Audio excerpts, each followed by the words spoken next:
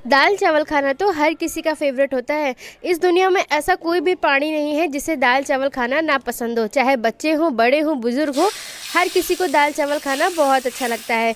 लेकिन जब आपका मन भर जाए सिंपल दाल चावल खाकर और मसालेदार खाने का मन कर जाए तो फटाफट से बना लेना अपनी ये मसालेदार दाल।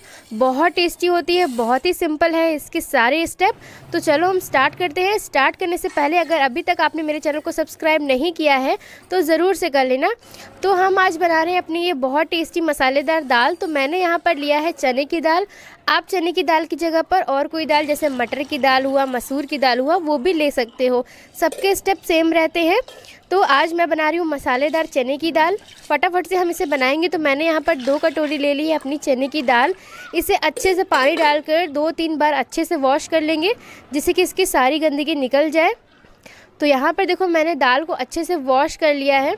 अब हम अपना लेंगे कुकर तो कुकर में दाल फटाफट से बन जाती है।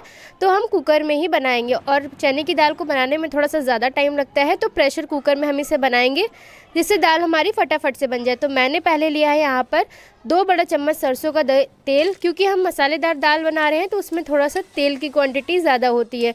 तो दो बड़ा चम्मच मैंने तेल लिया है। इसमें मैंने डाला है एक चम्मच ज़ीरा।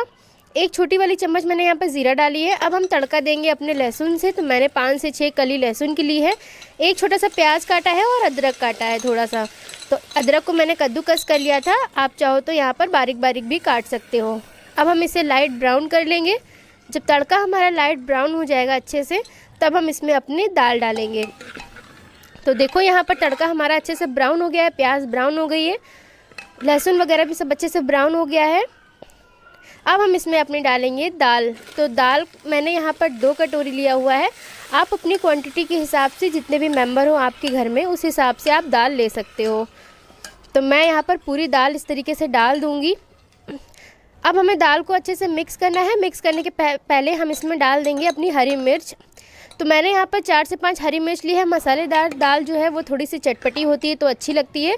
लेकिन आप चाहो तो इसमें मिर्च वगैरह अपने अनुसार, अपने टेस्ट के अनुसार कम या ज़्यादा कर सकते हो। तो मैंने यहाँ पर चार हरी मिर्च ली थी।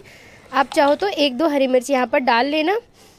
मिर्च डालने के बाद हम इसे अच्छे से मिक्स करेंगे, क्योंकि अभी हमारे दाल में बहुत ज़्यादा मॉइस्चर है, बहुत पानी भी लग रहा है। पानी का यूज़ तो हमने यहाँ बिल्कुल भी नहीं किया था, बस दाल को अपनी वॉश किया था।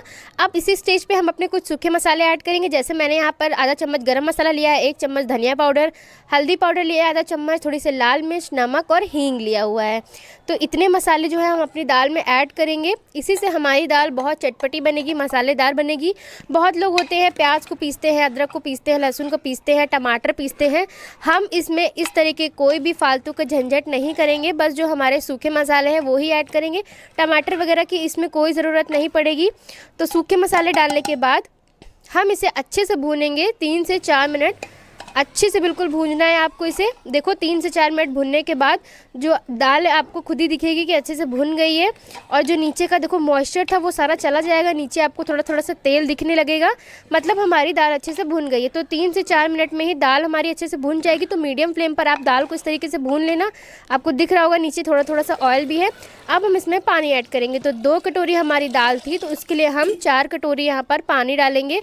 मतलब जितनी दाल होती है, उसका दुगना हमें इसमें पानी डालना है। और अच्छे से हमें इसे मिक्स करना है।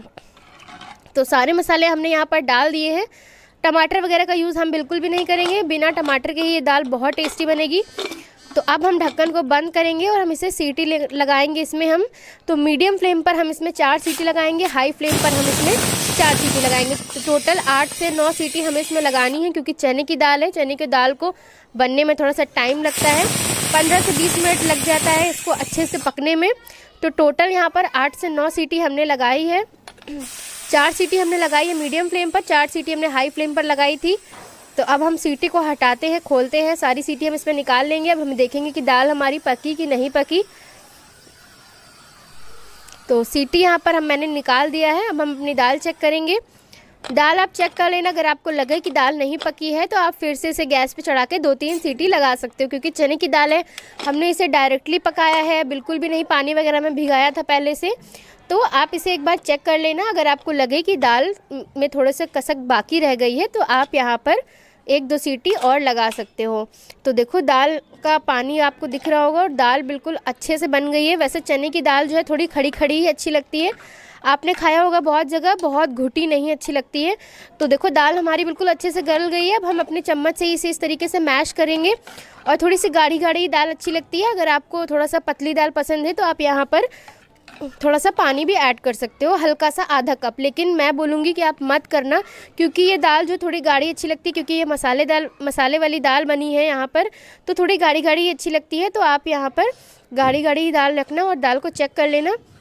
देखो, दाल बिल्कुल अच्छे से पक गई है। बिल्कुल भी कच्ची नहीं है थोड़ी सी खड़ी खड़ी है, क्योंकि मेरे घर में सब लोग ऐसे ही पसंद करते हैं चने की दाल। थोड़ी सी खड़ी खड़ी अच्छी लगती है। दाल तो पूरी अच्छे से गल गई है, बस ये इस तरीके से दिख रही होगी तो बिल्कुल परफेक्ट यहाँ पर दाल बन गई है। अब आप चाहो तो यहाँ पर हरा धनिया ऐड कर सकते हो, मेरे पास धनिया नहीं थी। दाल हमारी बहुत टेस्टी बनी हुई है, बिल्कुल मसालेदार, चटपटी, तीखी तीखी से बनी हुई है। बिल्कुल परफेक्ट बनी है तो अब हम इसका अपना एक तड़का बनाएँगे।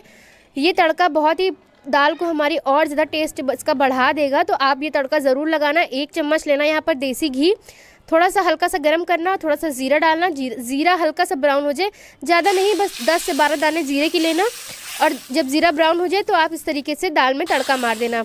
तो ये दाल जो है वो डबल तड़के वाली हो गई है और बहुत टेस्टी लगेगी जो इसमें देसी घी का फ्लेवर है। वैसे हमने ज़ीरा वगैरह तो पहले ही डाल रखा था, लेकिन ये जो, ये वाला तड़का है, इससे दाल हमारी और ज़्यादा अच्छी हो जाएगी। इससे दाल का टेस्ट और इन्हेंस हो जाएगा। तो आप ये वाला तड़का ज़रूर देना। तो यहाँ पर दाल हमारी बन के बिल्कुल रेडी है। चलो अब हम अपनी प्लेट लगा लेते हैं। तो भूख तो बहुत ज़ोर से लगी हुई है और चलो मैंने यहाँ पर निकाली है अपने गर्मा गर्म चावल भी बन के तैयार हैं। आप चाहो तो इसे दाल चावल के साथ खाओ, रोटी के साथ खाओ। इसमें आपको कोई चटनी, अचार, प्याज देने की ज़रूरत नहीं है। ऐसे ही दाल बहुत टेस्टी लगेगी। तो अगर आपको मेरी रेसिपी अच्छी लग रही है, मेरी वीडियोस पसंद आ रही है तो प्लीज़ मेरे वीडियो को लाइक कर देना। चैनल पर नए आते हो तो सब्सक्राइब कर लिया करो बेल आइकन ज़रूर दबा दिया करो, जिससे कि आपको मेरी आने वाली ऐसे ही मज़ेदार रेसिपी की नोटिफिकेशन मिलती रहे। मैं हमेशा लेके आती हूँ आपके लिए ऐसे ही इजी और मज़ेदार रेसिपी खाने में बहुत टेस्टी होती है, इसे बनाने में ज़्यादा ताम झाम में नहीं होता फटाफट से बन के तैयार हो जाती है। तो आप भी जाओ इस रेसिपी को ज़रूर ट्राई करना और मुझे अपने फीडबैक ज़रूर देना कि आपको ये रेसिपी कैसी लगी। चलो बाय मिलते हैं नेक्स्ट वीडियो के साथ। अब तक के लिए बाय बाय टेक केयर